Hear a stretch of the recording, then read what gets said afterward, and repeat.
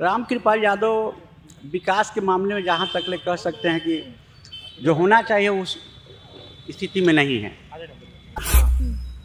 बहुत विकास हुआ होगा तो 25 परसेंट मैंने पच्चीस प्रतिशत विकास हुआ जो सरकार के ऐसी, जो करता है सरकार के हम इतना विकास करें, ऐसे करें, वैसे करें, उसके हिसाब से विकास नहीं होता। अभी जो पाटलिपुत्रा का इलेक्शन जो है, वो बराबरी का है।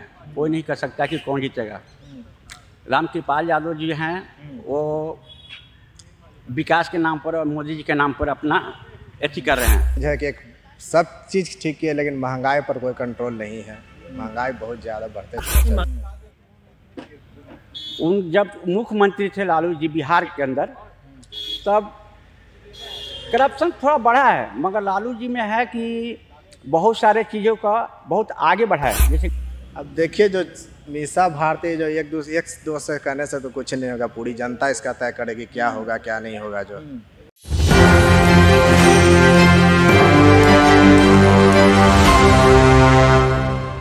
नमस्कार मैं नंदन आप देख रहे हैं एक न्यूज़ ट्वेंटी देखिए लोकसभा चुनाव का महापर्व चल रहा है। इस बीच हर क्षेत्र में जाकर हम पता लगा रहे हैं कि आखिर सरकार की तरफ़ से विकास कितना हुआ है। पन्ने पर ही विकास हुआ है या असल मायने में भी विकास हुआ है? बिहार की राजधानी पटना में हम स्थित है। लगातार पटना की खबरें भी हम आपको दिखाते आ रहे हैं। हमारे साथ वैसे ही एक कह सकते हैं यहाँ के व्यक्ति जुड़े हैं।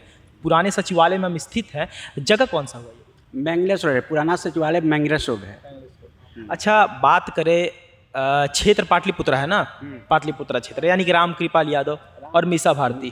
राम कृपाल यादव वर्तमान सांसद है। क्या लग रहा है कि विकास राम कृपाल यादव ने किया? है?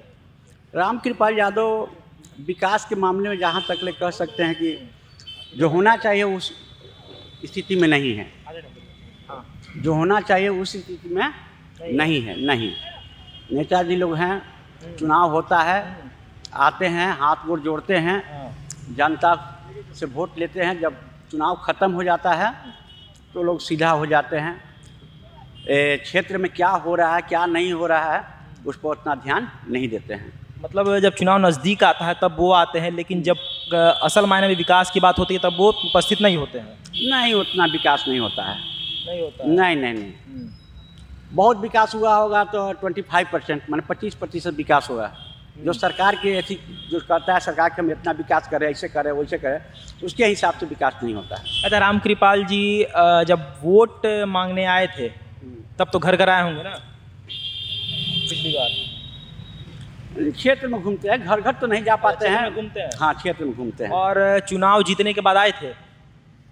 कभी कभी आते हैं ऐसी बात नहीं है कभी कभी आते हैं जो जैसे होता है पर्व आता है जैसे छठ हो गया कोई दुर्गा पूजा हो गया इस सब फ़ंक्शन में उनको देखा जाता है। देखा जाता है। हम्म, अच्छा बात करें लोकसभा चुनाव चल रहा है ठीक है? इस बीच अगर मीसा भारती भी है हम्म। मीसा भारती को मौका दीजिएगा? देखिए अभी जो पाटलिपुत्रा का इलेक्शन जो है वो बराबरी का है। कोई नहीं कर सकता कि कौन जीतेगा। राम कृपाल यादव जी हैं वो विकास के नाम पर और मोदी जी के नाम पर अपना अथी कर रहे हैं। अब मीसा भारती जो है वो अपने पार्टी से वो भी अपना पारिवारिक पार्टी जो है लालू जी का जो पार्टी है उसके हिसाब से लड़ रही हैं। अब भविष्य में नहीं बता सकता कि लालू जी के पार्टी से लड़ रही हैं कि लालू जी के नाम पे? दोनों। लालू जी के नाम भी है पार्टी भी है उनकी बेटी भी हैं ये सभी चीज़ उनको प्लस पॉइंट मिलेगा। क्या करेंगे मौका दीजिएगा मीसा भारती को कि राम कृपाल फिर से भरोसा करिएगा? अब आने वाला समय बताएगा भैया। आने वाला समय बताएँ हाँ आने वाला समय बताएगा। यहीं पे रहेगा और बात करेंगे। देख सकते हैं और लोग भी हमारे साथ हैं उनसे भी बातें करेंगे। नाम क्या हुआ आपका? दिलीप कुमार। दिलीप कुमार। क्या लगता है कि राम कृपाल यादव चाचा जी तो कह रहे हैं कि विकास 25 प्रतिशत किए हैं। आपकी नज़र में क्या? है विकास तो हुआ है ऐसा नहीं नहीं विकास हुआ हुआ है विकास हाँ विकास हुआ है। और राम कृपाल जो हैं वो सबसे जुड़े हुए रहते हैं ऐसा कुछ नहीं है। नेता वो बढ़िया हैं। आप कह रहे हैं पच्चीस प्रतिशत और यहाँ भैया कह रहे हैं कि विकास हुआ है। नज़रिया अलग अलग क्यों है? सर अपना अपना लोग का देखने का अलग अलग नज़रिया होता है। विकास माने कह रहे हैं किस क्षेत्र में? बताइए आप ही बताइए। कहाँ विकास हुआ है? पूछ रहे हैं सवाल कर रहे हैं। हर चीज़ में तो हुआ ही है। हर चीज़ में जैसे कहाँ कहाँ? सबसे बड़ा चीज़ है कि एक सब चीज़ ठीक है लेकिन महँगाई पर कोई कंट्रोल नहीं है।